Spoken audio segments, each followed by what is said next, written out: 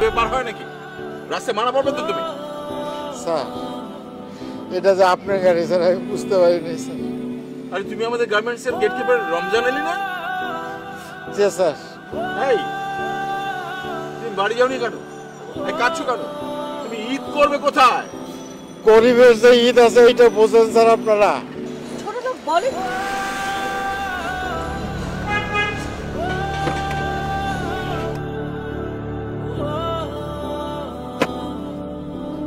Sir আমরা গরিব বলেই নীরবে রাস্তায় পড়ে খাচ্ছি বাড়িতে যাওয়ার মতো ভাড়ার টাকাটা পর্যন্ত নাই। একমাত্র সন্তান রে, ঈদ ছাড়া একটা নতুন জামা কিনে দিতে পারি। তাই ঈদের সময় যখন সামান্য বোনাসটা আপনারা কারেন্টের বন্ধ করে দেন, তখন কোন মুখে তাদের সামনে গিয়ে দাঁড়াবো স্যার? বলো কি?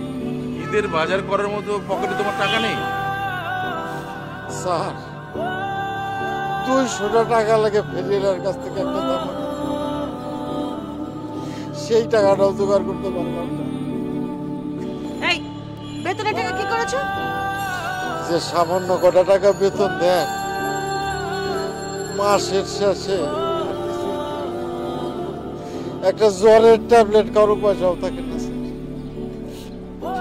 বোনাস না পাইলে কোনো শ্রমিক ঈদ করতে পারে না, ম্যাডাম। দেখো, কি সর্বনাশা একটা সিদ্ধান্ত তুমি নিয়েছো। তোমার নিজের কথা চিন্তা করে, তোমার বিলাসিতার কথা চিন্তা করে তুমি এতগুলো মানুষকে কষ্ট দিয়েছ, কাঁদাচ্ছ। দেখো, রঙিন চোখে নয়, বিবেকের চোখ দিয়ে দেখো। যারা মানুষের পাশে দাঁড়ায়, মানবতার পাশে দাঁড়ায়, নিজেদের জীবন উৎসর্গিত করে, সেই সমস্ত মানুষেরা মৃত্যুর পরেও হাজার বছর বেঁচে থাকে। যেমন জাতির জনক Bangabandhu Sheikh Mujibur Rahman, Nelson Mandela, Mother Teresa. Sorry আমি আমি সত্যি অনুতপ্ত। তুমি আমার বিবেকের চোখ খুলে দিয়েছ। আসলেই তো, আমরা যারা উপরে উঠে যাই, তারা পেছনে সিঁড়ির কথা ভুলে যায়। আমার না দুটো গাড়ি লাগবে না। তুমি বোনাস দিয়ে দাও, প্লিজ। রমজান তোমার বেতন কত?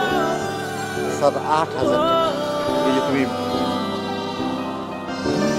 লিখে দাও। এই ওকে বকশিস দিয়ে দাও না। না না ম্যাডাম বকশিস লাগবো না। বান্ন টাকা পাইলে আমরা খুশি।